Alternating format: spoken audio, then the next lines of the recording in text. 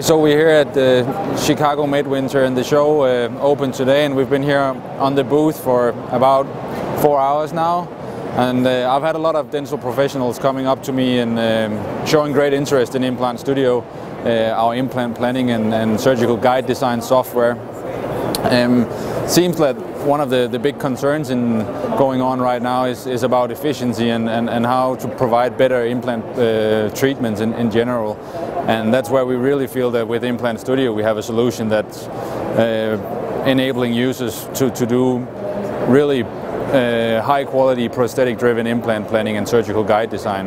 And with our 2015 version of Implant Studio that we are showing for the first time here in Chicago, we are showing uh, an optimized version and launching a new workflow for edentulous treatments uh, of, um, of, of, patients. So what we have here is basically the, the input data to our edentulous workflow. So on the left we have the patient CT scan and we can see that the software has automatically detected the radiopaque markers.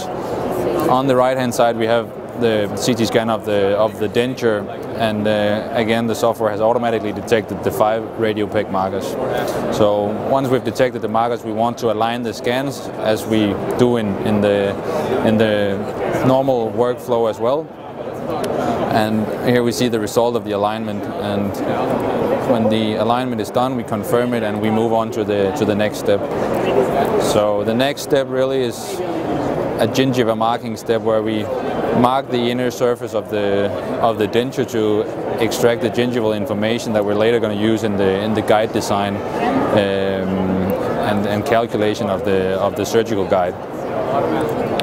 We have more uh, diagnostical tools as nerve marking and uh, and uh, here we also see how the, the gingiva has then been uh, spanned across the uh, the jaw based on the on the marking that we just did. A very central step in our workflow is of course the implant planning step. So throughout our application we have really thought efficiency and, and usability into, into the, the design of the software. So what we see here is a planned case. We have placed four Im implants in the patient's mandible and as we also see we have now uh, anchor pins available.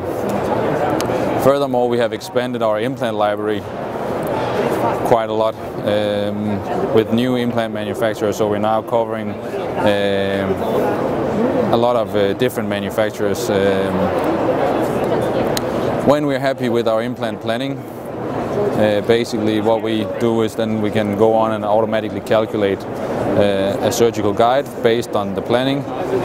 And then the important factor is of course that we output this design in an open STL format that you can then go ahead produce on, on